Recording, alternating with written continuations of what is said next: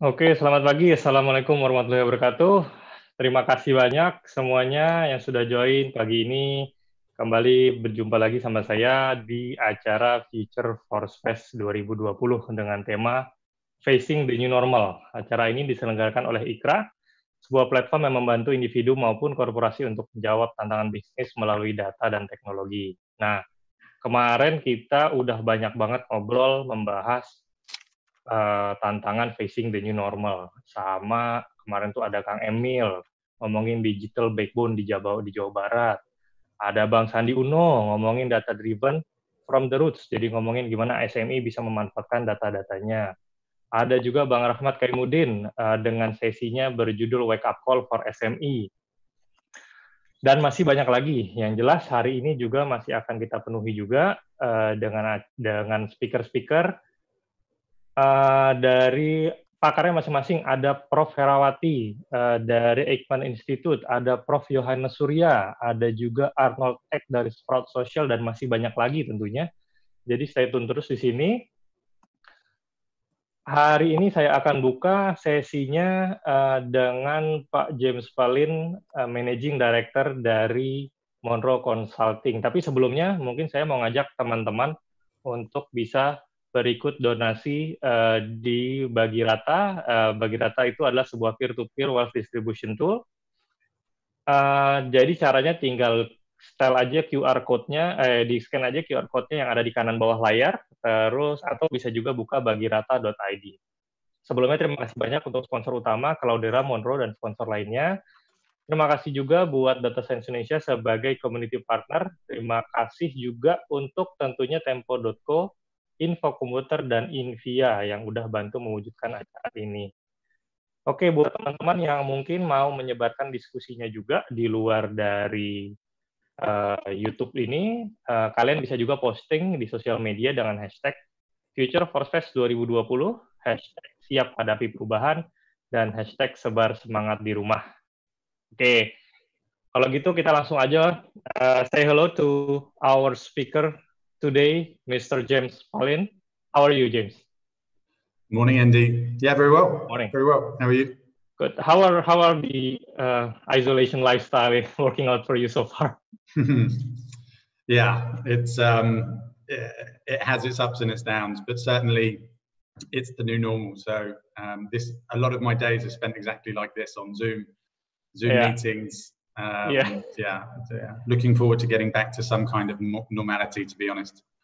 Exactly. It's just uh, even for me today, this morning, when I'm when I'm wearing my shirt instead of my t-shirt, that feels weird.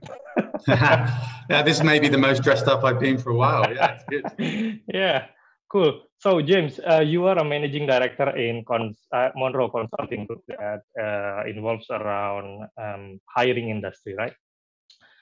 But you've been around quite as well. You've been leading companies uh, in uh, Japan, in Hong Kong, in Singapore, mostly mm-hmm. also involved around uh, hiring uh, talents, industry talents. So, seeing from your experience, uh, particularly in developed countries, what can you learn? What can we learn from both employee and employer sides to uh, for for the industry here in Indonesia? Well, well, I mean, my, my whole career has been in tech, so you know how things are done in, in, in each country is is slightly different, but there, you know, it's it's certainly a a big question. But uh, to kind of make that more manageable, I think in terms of um, employers, you know, there's definitely a, a talent war on. Certainly when it comes to more niche roles, data roles, technology. There's um, you know, on a long enough timeline, every company is going to be a technology company. So everyone's trying to get in the best talent. Everyone's trying to get them into their into their business. So you've got to have an effective hiring plan put in place. You know, look at who you're trying to target um, mm. and making sure that you're using different information streams. Make sure that information is flowing towards yourself. So whether that's social media campaigns, LinkedIn campaigns, headhunting via LinkedIn, um, referral schemes, um, using your network, um, and using agencies as well depending on round of funding you're on, if you're a small startup, you're probably not going to have the money to use agencies and mm. explore that side of things and have expensive LinkedIn licenses. But you know, you, you have got to you, you've got to base it on what you've got, and you know, obviously once companies go into Series A, Series B funding, they tend to then start to use agencies. But um, having that structured is is really important. Uh, I think one of the biggest mistakes I see, certainly walking into smaller startup businesses, is they don't have a good interview um, structure in place. Mm-hmm. You know, it's it's too short. Maybe it's one round of interviews where it's like a, a round robin, or everyone's in the same meeting, and then it's an offer. Mm. You know, they're not taking into consideration the um, you know, we're humans, right? You know, people who are interviewing, uh, you know, they're not robots. They need to they need to feel like they're earning something. And sometimes, mm. if an interview is too easy, people aren't going to accept that offer. Um, and vice versa. If you take too long, you're going to lose the talent to your competition. So okay. You need to structure a good system, which is going to make sure that you test them, um, you get to know them, they get to know you, um, and, and, be open and, and, and, transparent as well with regards to the business and, and what you're looking to to grow. Mm. And, and that kind of brings me on to the third point, I guess, as well, which is especially for smaller businesses, you, you need to build a culture. You know, you need mm. to have some idea of who you are and what you're about, because that's what a lot of people buy into. Certainly, the millennial generation today, you know, they're um, they're not just looking for, for money and career development. Yes, they are important, but certainly being able to be a part of something, mm. you know, being able to um, join a team that has a culture which um, you know is is really dependent upon the staff that you hire. So you know, no one person is bigger than that team. Making sure that the people you hire fit your culture, because mm. a bad hire, a bad manager, um, can really you know break that culture and can really put new cultures into the business which which you don't want. Um, I think that you know those are the main things that employers need to look at. You know, obviously, yeah, competitor analysis, making sure that they're competitive in terms of salary and looking after the staff. I think certainly modern tech firms want more flexibility, flexible working hours, bean bags, you know, all, all of mm. those types of things are very common these days. But yeah, yeah. Um, developed developed countries, you've got a lot more competition um, for, for, for often less talent. So you know you mm. really have to be refined in terms of what you're doing from the moment that person engages with your business to the moment they get an offer, they've got to feel, um, you know, like it's a professional business, like you're you're, you're doing things properly and, and engaging well. Um, and from the employee side, you know, it's it's very similar. I think you know when I started out in recruitment in Japan, um, 2005, there was there was no LinkedIn. You know, everything was done very very yeah. differently, but but certainly more uh, modern uh, times have brought around um, the, the, easy apply button on LinkedIn, which makes it so easy yeah. to apply for a job. Yeah. Yeah. Um, and it's really changed the way that people apply. You know, back in back in my day, you you would you would write a CV. Yeah. You, you need to put it in envelopes and then send it. Put it in an envelope, yeah, and it goes out. And um, yeah. you know that's how we used to receive offer letters. Yeah. And you know, technology is great, but you've really got to make it work for you, both for the employee and employer. Otherwise, you know you're working for technology and, and you become a slave to it and uh, that's yeah. not effective so you know you've got to look at you know what are your top jobs you know what do you want to who do you want to work for and you aim at those you know if you apply to 100 companies and we contact you and we say hey great look we saw your application your profile looks good and your first question is who are you we're already not interested in you, you know, yeah, because you're not interested in our business. So you, have yeah. got to be targeted. You've got to focus yeah. on who you want to join the most, um, and you've yeah. got to make your, you know, your, you put your best effort into joining that business because, um, you know, there, there's a lot of choice out there, and you know, there there are lots of candidates out there, and you know, the people who are interviewing these candidates interview a lot of people, and you know straight away if someone's being dishonest or if is not that interested in your business or is yeah, applied to yeah. lots of companies. And you know, I've asked candidates before, you know, why did you apply to my business? And their answer was because there was an easy apply button. You know, you're you're not you're not going to be joining our business. You know, it's that yeah. simple. So to be targeted certainly is is um, is the first thing. And I think the second thing is that um, you know you've got to you've got to make sure that you interview the company as well a lot of people go to those interviews just expecting to be interviewed and they forget to ask questions to show interest exactly it's a two-way street right Yeah, exactly. And you know, it's a chance for you to figure out, look, this is your career. Um, and if you're taking it seriously, then you'll ask questions. And if you do ask good questions, you know, the, the, the interviewer is going to see, oh, this, this person's interested. They know what they're talking about. They've done their research. And that already puts you above 75% of the people who apply to companies anyway. Um, and it's noticeable. So putting in that effort, putting in the preparation, um, doing some research really makes a big difference. So that, that's important. And practicing before as well. Um, yeah. You know, being nervous in an interview is normal. We all, we all get nervous in interviews, but um, you know, some preparation again will show, and it will it will it will put you in the mind of the interviewer. And if they're interviewing 5, 10, 15 people for that role, it helps you get through to the next round. Um, and building rapport, I think that's that's probably one of the most important things. Is that um, certainly when people are anxious or nervous or um, you know, trying to perform in, in, an interview. They forget to, to, to build rapport. And, um, you know, it's one of the biggest things. People, people, you know, will, people like people that they are like or that they want to be like. It's, it's really that simple. Uh-huh. So if you can, you know, do some research beforehand, you know a little bit about who's interviewing you, maybe use LinkedIn to look at connections you have in common, companies they used to work at, maybe you went to the same university, maybe you've got similar interests you know, these are all hmm. good ways to, to build rapport. And if you can build rapport with someone in an interview,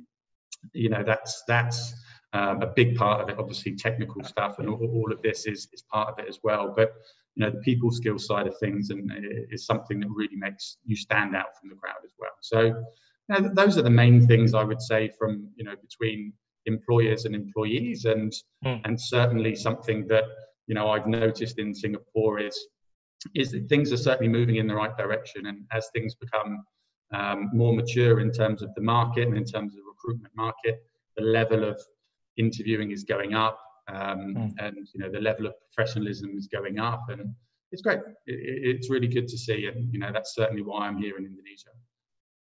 Cool. That that uh, that was a lot of great tip for our tech talents. I hope uh, hearing this they can take notes on how to pursue. Uh, Trying to put 15 years next... into 15 minutes is, is difficult. Yeah. But yeah, exactly. some useful points.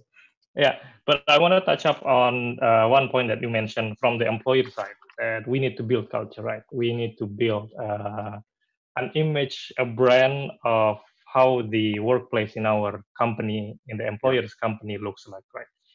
What? How do you think uh, the best way for the employers to to uh, to make that image, to make that brand to the um, to the top talent, top tech talents out there. I mean, uh, for yeah, for big for big employees, for big corporations, probably it's it's easier for them because they already have the name and the brand. But mm. what what can you say about for the starting? Yeah, the I mean it's a tough one. It, it, it's the same. All companies go through it, and I you know I've done lots of startups and um, and you know, even with Monroe, you know, we're still an SME sized business, 200 employees, and you know, you, you have to you, you have to find out what works for you. You know, there's no um, it's best not to try and imitate other businesses. It's best to try and be unique. And um, as you start to hire people, um, you know, certainly the the CEO or the you know the the main person in the business is going to drive what that um, you know what that brand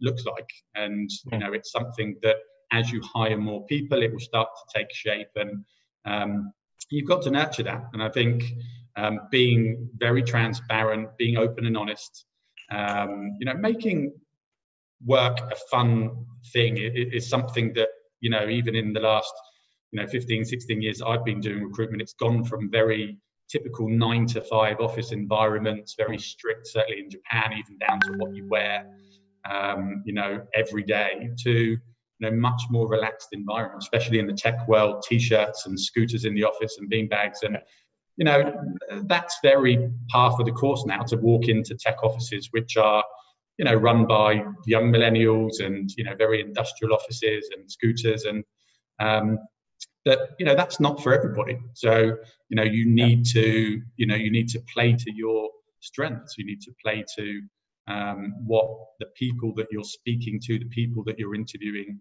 uh, want as well. You need to listen and then it, it comes over time. I think it, you know the, when people try and force it or try and imitate other companies it doesn't always work so well. So you've got to be you've got to be authentic. Yeah, well, especially now, uh, probably the bin bags, the big open spaces with a lot of people cramped in together is not very lucrative now. Yeah, no, I mean, it, as well. it's a good point. It, it's going to change the way we work, and certainly, it's really opened my eyes to work from home. I mean, there was a lot of, yeah. you know, people that I thought, you know, if you work from home, you're going to be watching Netflix all day, relaxing, and you know what, you can be as productive, if not more productive, working from home. So it really exactly. might change office environments for, forever. It, it really does. Yeah. Uh, still on the um, uh, building the the, cult, the culture branding, is it more important? You do you think it is more important to build the uh, build the perception of the brand externally or internally within your organization in terms of uh, making the hiring? Yeah, look, I, I think it. I think all of it starts internally. I think you know you can mm. you you've got to you've got to have a, something that's core to the business, that's core to you as a founder and or founders, um, and the first people that are coming in, and then you can you know you, you can show that brand to the world. You can market that. You can build that, and you know there, there are lots of companies that have have done that well over the years. You know, big companies and um, but you've got to have something first. You know, Apple was the first one to really change marketing to make it about how it makes you feel rather than what it does. And, and lots of companies have tried to imitate that. But again, you've got to you've got to look at your market. And you know, if you're a, a, a small tech company and you're trying to imitate a you know a very large, you're, you're going to fail. So you've got to look at you know what's intrinsic to the business and i think that's important and i think who you hire and going back to the point i made before and you know building that culture within the business will really um, you know will really change um, you know what you're putting out as a message to the market and, and, looking at who you're trying to target as well because hmm. if you miss your target audience you know too too senior too junior um, you know not professional enough too professional you know you're, you're gonna you're not going to be able to attract the right talent to the business and um, you, you know if you're looking at millennial generation or you know gen z or you know whatever it is you know my generation yeah. your how you do that is different and you know it's also yeah. got to tally in with the customer as well so um, yeah it, it's always going to start internally i think if you try and push an image externally and then fulfill it internally um, living up to that expectation is, is often a tricky one. Cool. You mentioned a lot of a lot of great tips for the employees. Uh, uh, to uh, you mentioned before that it needs to be targeted. It needs to be probably a bit uh, personal. Get to know the, about the interviewer. Get to know the employer, right? And then put that interest in on the interview, so you can show that your interest to the employer is as big as they are to you, right? Uh, but um, hard skill is one thing, right? Hard skill is the thing that we probably need the most in the in in in a, in a job in a role, especially tech roles. But what other skills do you think that mm, the tech talent needs to acquire to in order to go to the next level, in order to stand out from the other candidates?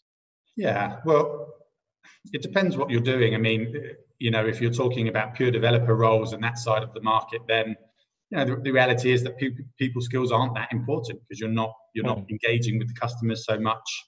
Um, but you know, more advanced uh, technology is it you know being able to be at the forefront of uh, technology uh, is really important. And you know, as you start to then develop in your career, you've got to look at where you want to go. And um, you know, experience is the best teacher. So you, you start to learn what you're good at you know what you're not good at. And you know if you haven't got people skills so much and it's not something you want to develop then you know, you're probably not going to move into um, those leadership roles. Um, mm. you know, if you're a data engineer data analyst then you know you're not you don't have that business acumen and you you know you're not good with people. You're probably not going to become a data scientist. But mm. um, you know you've got you've got to play to your strengths and um, you, you find that out for experience. You never know until you try. And I think certainly a lot of the um, millennial generation that I see, uh, you know, there's a certain uh, fear of failure, and I think it's it's so important to fail, to go out and to try new things and to try and develop your skill set. And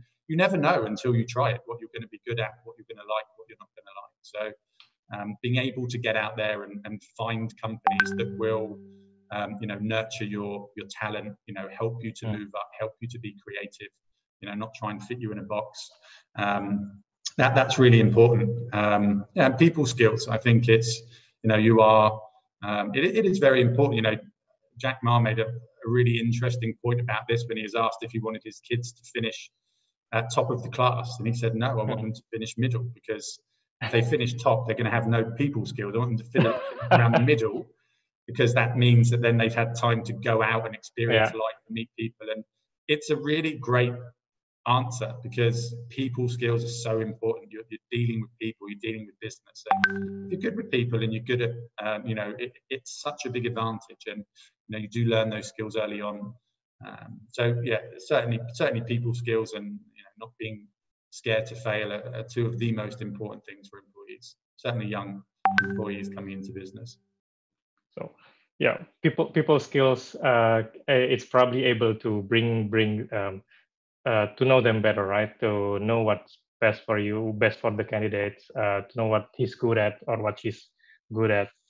So in Monroe, you've dealt a lot of uh, talents, uh, obviously, but how do you help them to know uh, what are the, uh, their how, how how do you guys help them to be able to show them this is my best and this is what I'm good at? Do you do something like that as well? You mean our candidates who are interviewing with our clients? Yeah. Yeah. Well, I mean, it's, we interview them. You know, we sit down with them, we spend time with them, um, and we prepare them for you know the, the, the, challenge that's in front of them. And you know, you've got to you know to look at um, there are lots of different variables. So yes, technical skills. If they're a technical person, is one. Being able to test them on those side of things, um, make them understand about the business and, and you know really make them understand about what's um, going to be coming up in in the interview. So you know preparing you know, basics are, are really important even before you go for an interview, making sure that the CV is tailored the resume is tailored for that role you know yeah, because yeah. like i said before people apply for 60 70 roles at once um, your cv is not going to match 60 or 70 roles you know it's, it's just yeah. not so making sure that from the first application through to your first meeting. And the first meetings are now are like like this. So you know we've still got lots of jobs open, still got lots of people interviewing, and they forget you know, what's behind them. What does their camera look like? What's the lighting like yeah. in their room? You know, you have to get ready for the challenge that's in front of you. And you know now it's different now. So yeah. you know it, it, it's new challenges that we're facing as well. Um, and then going through practice scenarios with them, like I said, repetition, repetition, repetition, making them practice the interview, making them understand who they're meeting, uh, good questions to ask. Uh, that, that goes a long way to, to making someone feel more comfortable. And when you're more comfortable, you can you can build rapport, you can feel more relaxed, and you give a better opinion of yourself. And you know that's that's really what we do. Round one. Yeah, yeah. So. Uh, uh, to be able to build a rapport with someone, uh, to be able to be uh, targeted for the employees now with the tech uh, that we mentioned before, is just one click away from applying a job. That's it, it that is probably poses a, a challenge as well as the as also um, easiness, right? I mean, I can just click apply, but how do I tailor my one-click button to be yeah. able to stand out among others?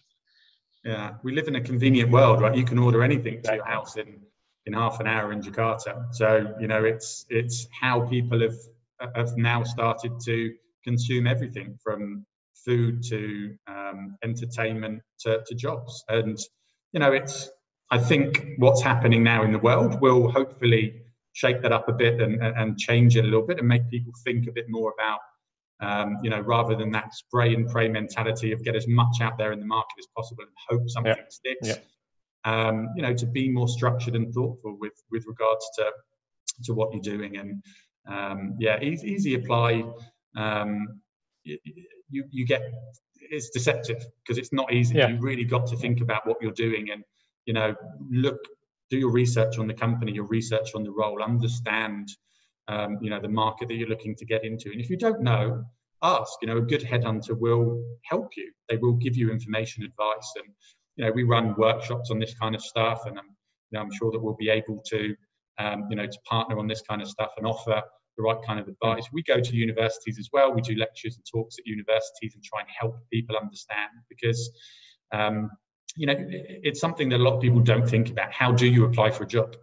Um, and you know, there's a lot of people coming onto the jobs market now, and you know, there's going to be a lot of competition. So, being able to tailor your CV, being able to have good cover letter, being able to stand out with a good CV. Um, you know, average HR person, normal um, hiring manager will look at a CV for about seven seconds. That's it. That's mm. what you've got to be able to impress somebody. And you've got to remember they're getting 500 to 1,000 applicants per week. So they might not even see your application. So following up is important. Using headhunters is important. Using your network, trying to reach out to people directly. You've got to go that extra mile if you if you want a job and to, to stand out from the masses of applications. Um, yeah, those are the main things that I would say. Yeah, cool. Um, before we continue on, I would like to remind uh, the audience so that we can donate through Bagirata. Uh, you guys can open bagirata.id uh, to directly donate, or you just can uh, just you can just scan the QR code on the bottom right, I think. Uh, before we continue, James, there's a couple of questions from the audience that I would like to ask to you. Uh, there's a question from Lalitya Absari. Have you worked with people with unique skills and experience, particularly those with strong soft skills that couldn't be translated into credentials or CV? What's your tip for these people? This is a very interesting question because I also sometimes meet a couple of tech talents that I know that he's good, but looking at the CV, it doesn't translate very well. I mean, if a hiring partner see their CV, uh, uh, probably don't have a lot of credentials, but the the people skills that you mentioned before is very important. That is very hard to translate into CV, mm-hmm. right? Yeah, it is. I mean, it's it's true. You, have got to be, um, you know, you, again working with, um, you know, a person who knows well working with headhunters is a good start to really be able to, to bring out and understand things about yourself that you didn't know before. And that, you know, Monroe as a business, we hire um, pretty much everybody we hire. We hire only Indonesians and we hire them straight from university. So you don't have many skills at that point, but, you know, we, we get them in front of us and, and, and we talk to them and we explore, you know, what they're capable of, what they want to be able to do. And, you know, you this is why the, the easy apply button has become um, you know so prolific because people yeah. you know, with that you know very good soft skills um, but not much experience or not many hard skills as you, as you mentioned um, you know, they're, they're, not exactly sure what you want to do and you know at 21 22 you don't know what you want to do i didn't yeah. Yeah. Um, yeah. So you do need to start to talk to companies and, and start to engage by headhunting companies, going to um, you know, events like this, networking, using your network. And really at that stage in your career, it's more about who you know rather than what you know. And you've got to, you know, through family, friends, friends, you know, people that you know that are, in companies and, you know, you, you can get into businesses that way. And you know, that's a much more, um, you know, easy approach to take initially. And then, you know, you can start to figure things out from there. Um, and of course, you know, if you've got interest, you know the types of companies you're um, looking for. Again, you know what I said before, being able to you know tailor what you've got, but then being able to actually speak to someone. If you can reach out to a hiring manager directly, I've had people hmm. you know reach out to me directly.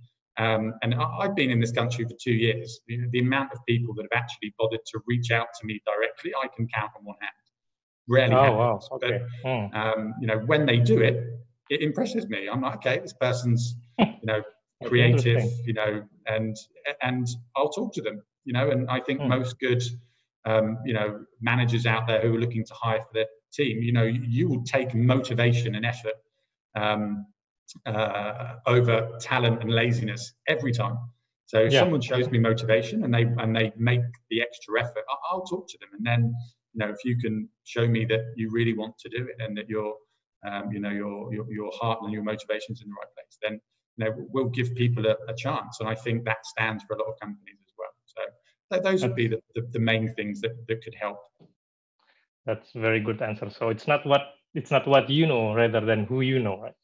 who you know is a, is a great one, and um, you know a lot of people who are struggling to find roles. I always remind them you've got to think about who's in your network. You know, go back, take some time, go through LinkedIn, go through your you know your Rolodex. So yeah, depending on what point in your career you are, you know you've got to you've got to look for the low hanging fruit, and that's who you know. Um, hmm. and, and that that can really help to, to get you into the positions that can get you to where you want to be. And if you hmm. can't get there straight away, think about how you can get there through you know, other businesses. Cool.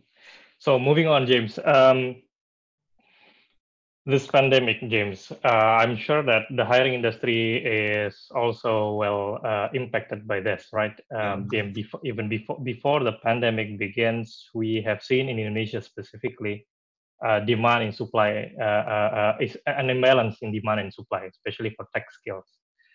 So, do you think this pandemic will put a pause on that? Uh, do you think what will, uh, when things get more and more stable, what will be different in the hiring world?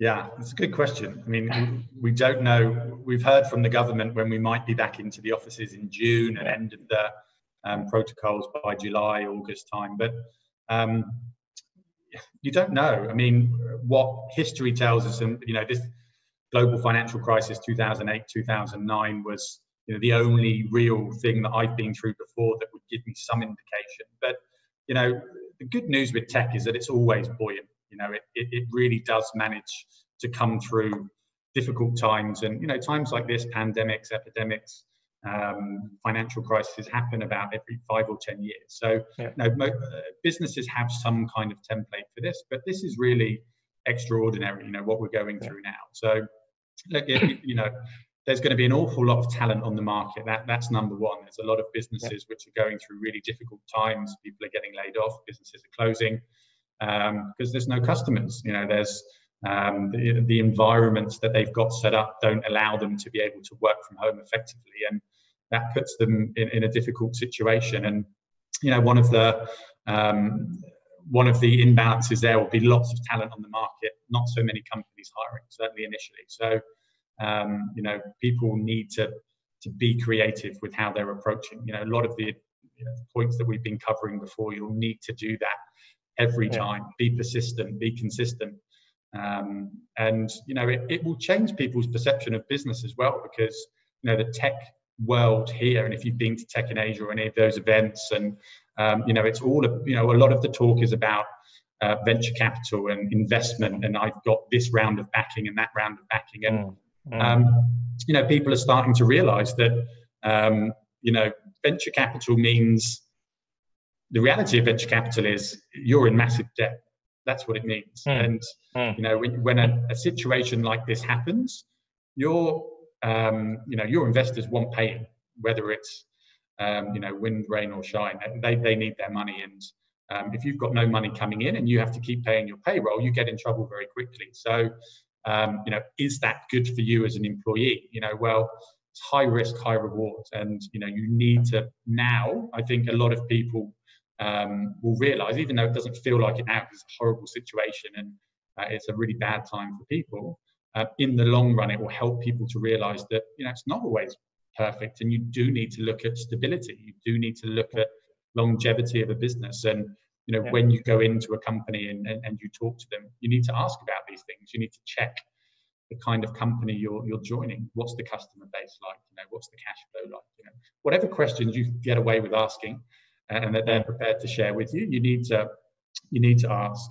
Um, you know, and certainly hiring will be more specific. Um, you know, companies are going to be more thoughtful about how many people they hire for roles. You know, can one person do all of these roles? You know, data science is a good example of that. You know, it's it's three or four jobs rolled into one, yeah. um, and it's a new job. But that will keep happening. You'll keep getting these new jobs, new job titles coming up, and companies being a bit more, you know, creative with the people that they're hiring. What are you capable of? You know, can you do this? Can you know?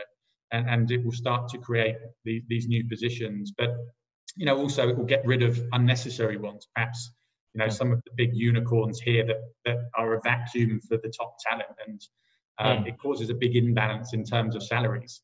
Um, mm. And some of them, they, they create these odd jobs which are, you know, kind of between yeah. roles and they don't really exist anywhere else. And then when those people come onto the market trying to find that job elsewhere, it doesn't exist. So yeah. it will shake things up. It will change the way that companies are hiring, and um, it will probably change, you know, the, the, the salary side of things as well to some extent because mm. you know, hmm. developing countries you see big increases in salary. You know, 30, 40, 50 percent is, is not uncommon. You know, we've had yeah. 100 percent, you know, increases wow. this year that you see, but you know, companies are going to be much smarter um, mm. and, and that will start to level out a little bit. And you know, over a period of time, that will start to you know fall back towards what you're seeing in more developed countries, what you're seeing in Thailand now, what you're seeing in other countries as well. So. You know, those are the main things that you'll see, and, and hopefully it will change people's perceptions of what's good for their career and employers' perceptions of what they need from an employee. That's that's very interesting. Uh, so it's going to change a lot of things. Probably new roles will appear, uh, newer roles that we just had uh, a couple of years uh, back probably disappearing. But probably there's no data science anymore. Probably there will be a very specific data science is gonna is, is is a great one. I think it's one of the you know the fastest growing areas. Um, but it's you know it, it's because it serves a, a purpose, and that's that, the world is now reliant upon data, and there's massive yeah. amounts of data out there. And I think most businesses are only still scratching the surface. I mean, one percent of the data they produce is, you know, is, is is really actioned. In terms of everything else, it's how do you use it effectively is the is the big question, and that's really, you know, going to be something that comes into play not just now for making profit, but for looking at, you know, longevity, stability um, mm. know, what, how can we make this a more uh, sustainable environment for the employees? And you know, there's all kinds of data that can be gathered and used. Yeah. And I think a lot of it's been aimed at profit because that's what shareholders want, that's what companies want. But um, you know, like I said, I think this situation will be, even though it doesn't feel like it now, it's there's going to be a lot of good that comes from it as well. And you know, making yeah. people really think about what's important uh, for longevity and, and, in the long run. And yeah, it's, it's um, it's it's a good question, and yeah, there's there's, there's lots of other points that could be covered there. But it it's, it's back to the fundamentals, right, from the yeah. employer side. Yeah. Okay, uh, um, I'm gonna uh, raise a question again from the audience from Bayu Bayu PD. Uh, what do you think about Indonesia workforce compared with others country? Uh, what we need to win the competition? No, I mean the, the workforce in Indonesia is fantastic. You know, very entrepreneurial. Um, you know, for me, yeah, I'm getting settled in Indonesia, and I, have worked. You know, I've moved across Japan, Singapore, Hong Kong, and for me, it was really following the, you know, the, the, the curve. And Japan was a massive hiring entity back in the day, and um, you know, Singapore was really, still is to some extent, you know, the hub of tech in Asia. Um, and you know, but Indonesia's got a lot of things going for it. You know, you've got a massive population, um, you know, more and more skilled people coming into the market. Um, you've got um, you know great English ability, um, you know, and, and really, like I said, entrepreneurial and and and really great people to work with. So um, for me, um, Indonesia's in a in a in a in a good position. I think you know the government's now starting to do lots of things to bring um, talent to um, bring business to the country as well. I think you've seen, um, you know, the president recently bringing over, um, you know, the president of Microsoft and doing lots of things with, um, you know, with the, the, the, media side of things to bring attention to Indonesia. You've got Google and Amazon, which are building data centers here. You've got um, you've got the start the start of something which is going to be very big, and you know that's certainly why I'm here because it's the crest of the wave you know, companies that have been historically looking at Singapore and Hong Kong as their center, you know, with the new things, the omnibus that, that that's coming in now, the omnibus bill that will hopefully be passed in the next you know few months will. Um, when you look at the amount of capital it takes to start a business, and certainly tech companies are much more mobile. You don't have to be in Singapore or Hong Kong to be successful. And I think a lot of unicorns here have proved that.